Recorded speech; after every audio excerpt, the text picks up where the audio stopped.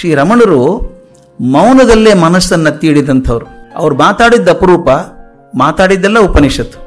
ಅವ್ರು ಒಂದು ಸಲ ಬೆಟ್ಟ ಹತ್ತಿ ಹೋಗ್ತಾ ಇದ್ರಂತ. ಬೆಟ್ಟ ಹತ್ತಿ ಹೋಗುವಾಗ ಯಾರೊಬ್ರು ವಿದೇಶಿ ಪಂಡಿತರು ಬಂದರು. ಸ್ವಾಮಿಗಳಿಗೆ ನಮಸ್ಕಾರ ಮಾಡಿದ್ರು. ಅವ್ರು ಹಿಂದೆ ಹೊರಟರು. ಹೊರಟಾಗ ರಮಣರು ಕೇಳಿದ್ರಂತೆ ಅವರು, ಸ್ವಾಮಿ, ನಿನ್ನೆ ನೀವು ಹೇಳ್ತಾ ಕರ್ಮ ಅಂತ ಹೇಳಿದ್ರಿ, ಕರ್ಮ ಯೋಗ ಅಂದ್ರಿ. ಏನರ್ಥ ಕರ್ಮ ಬೇರೆ, ಕರ್ಮ ಯೋಗ ಬೇರೆನಾ? ಅರ್ಥ ಏನು? ಅದ್ರ ವ್ಯತ್ಯಾಸ ಏನು ಅಂತ ಕೇಳಿದ್ರು ಇವರು ನೋಡ್ ನಕ್ಬಿಟ್ಟು ನನ್ನ ಜೊತೆಗೆ ಬನ್ನಿ ಅಂದ್ರು. ಅಷ್ಟೇ. ಅವ್ರ ಜೊತೆಗೆ ಇವರು ಬೆಟ್ಟ ಹತ್ತೋಕ್ ಶುರು ಮಾಡಿದ್ರು. ನಮ್ಮ ಕಣ್ಮು ಚಿತ್ರ ಬರಬೇಕು ಎಷ್ಟು ಸುಲಭವಾಗಿ ಹೇಳುವಂತದ್ದು ಅದು ಅದು ಹೇಳ್ಬೇಕಾದ್ರೆ ಆ ಶಕ್ತಿನೇ ಬೇಕು. ಬೆಟ್ಟ ಹತ್ಕೊಂಡು ನಿಧಾನಕ್ಕೆ ಅರ್ಧ ಹಾದಿ ಹೋಗಿದ್ದಾರೆ. ವಿದೇಶಿ ಪಂಡಿತರು ಕಷ್ಟ ಹತ್ತೋದು. ಏದು ಸರ್ ಬಿಡುತ್ತಾ ಅವ್ರ ಹಿಂದೆ ಹೋಗ್ತಾ ಇದ್ರು. ಅಷ್ಟೊತ್ತಿಗೆ ಒಂದು ಘಟನೆ ಆಯ್ತಲ್ಲಿ. ಒಬ್ಬ ಅಜ್ಜಿ ಮುದುಕಿ ಈ ಕಟ್ಟಿಗೆ ಆರಿಸೋಕ್ ಬಂದಿದ್ದಾಳೆ ಕಾಡಲ್ಲಿ. ಕಟ್ಟಿಗೆ ಕಡಿಯೋ ಶಕ್ತಿ ಇಲ್ಲ ಆಕೆಗೆ. ಕೆಳಗೆ ಬಿದ್ದಂತ ಒಣಗಿದ ಕಟ್ಟಿಗೆ ಎಲ್ಲ ತಗೊಂಡು ಕಟ್ಟಿಬಿಟ್ಟು ಅದನ್ನ ಹೊರೆ ಮಾಡ್ಕೊಂಡು ತಲೆ ಮೇಲೆ ಹತ್ಕೊಂಡು ಹೋಗೋ ಪ್ರಯತ್ನ. ಒಂದ್ ನಿಮಿಷ ನಿಂತು ನೋಡಿದ್ರು ರಮಣರು. ಒದ್ದಾಡ್ತಾ ಇದ್ಲು ಪಾಪ. ಇಷ್ಟುದ್ದ ಕಟ್ಟಿಗೆ ಇಷ್ಟುದ್ದ ಕಟ್ಟಿಗೆ, ಎಲ್ಲ ಕಟ್ಟಿಗೆ ಸೇರಿಸ್ಕೊಂಡಿದ್ದಾಳೆ.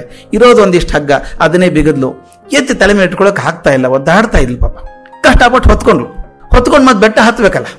ಮೊದಲೇ ಪಾಪ ವಯಸ್ಸಾಗಿದೆ. ಏನ್ ಇಲ್ದೇನೆ ಹತ್ತೋದು ಕಷ್ಟ.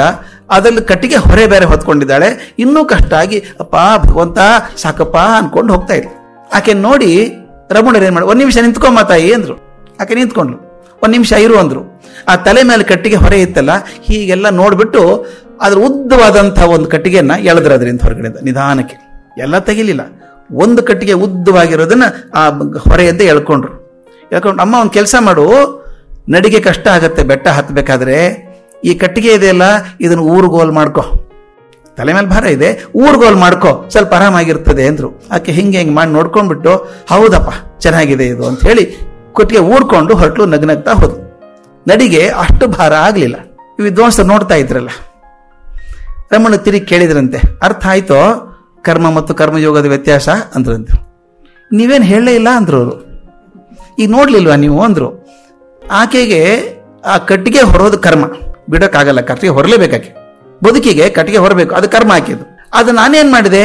ಆ ಕರ್ಮದ ಹೊರೆಯನ್ನ ಅದರ ಒಂದು ಭಾಗವನ್ನು ತೆಗೆದು ಊರುಗೋಲು ಮಾಡಿದೆ. ಅವ್ರು ಎಷ್ಟು ಚಂದ ಹೇಳ್ತಾರೆ, ಕರ್ಮ ಹೊರೋದು ನಿನಗೆ ಅನಿವಾರ್ಯ ಕರ್ಮ ಅದು. ಕರ್ಮ ಮಾಡಬೇಕಾದ ಕರ್ಮ ಅದು. ಆದರೆ ಕರ್ಮವನ್ನೇ ಒಂದು ಅದ್ರನ್ನ ತಕೊಂಡು ನಿನಗೆ ಊರುಗೋಲು ಮಾಡ್ಕೊಳ್ಳೋದಿದೆಯಲ್ಲ? ಅಂದರೆ ಕರ್ಮವನ್ನೇ ಸಂತೋಷವಾಗಿ ಅನುಭವಿಸೋದಿದೆಯಲ್ಲ, ಇದು ಕರ್ಮಯೋಗ. ಕರ್ಮ ತಪ್ಪಿಸೋಕೆ ಸಾಧ್ಯ ಇಲ್ಲ ನೀವು. ಆದ್ರೆ ಕರ್ಮದ ಒಂದು ಭಾಗ ತಗೊಂಡು ಅದನ್ನು ಕೊರಕೊಂಡು, ನಾವು ಕೆಟ್ಟೋ ಜನ ನೋಡ್ಬೇಕು ನೀವು ಕೆಲವರು. ಕರ್ಮ ಮಾಡುವಾಗ ತುಂಬ ಒದ್ದಾಡ್ತಾರೆ.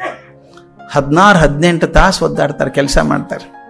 ನೋಡ್ಬೇಕು ಕೆಲವರು, ಹದಿನಾರು, ಹದಿನೆಂಟು ತಾಸು ಕೆಲಸ ಮಾಡಿ ಸಾಕಾಗಿ ಹೋಗಿದೆ ರೀ ಕೆಲಸ. ಒದ್ದಾಡ್ಕೊಂಡು.